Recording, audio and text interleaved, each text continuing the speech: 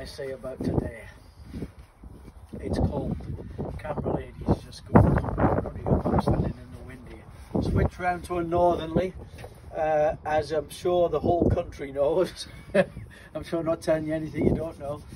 And uh, definitely uh, a right biting wind today. So I've been in the workshop here and I've had that heated and cracking on with a bit of stuff. Doing uh, a little bit of decoration on this and getting some gold paint on it, that axle. And uh, I've just uh, completed all four wheels for the child size bow top across the road there. So they can have some varnish on them tomorrow in the workshop there. Where it's nice and warm. If you put uh, varnish on when it's too cold it, it blooms. Uh, why I say bloom it goes like a milky colour and you can't get it out. It won't be clear like it is. Simple as that so it's got to be a reasonable temperature towards double figures to uh, put varnish on that's for sure but I think they've turned out quite nicely what's your opinion?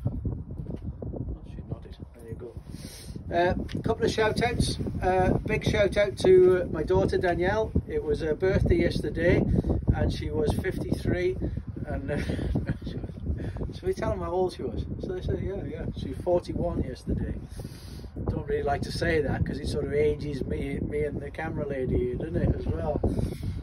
However, they had a night out in Llandudno and we were really jealous because there was a cabaret and everything. We were like, wow, I wish we'd gone for that. Definitely got to that age where uh, a night out in Llandudno sounds fantastic.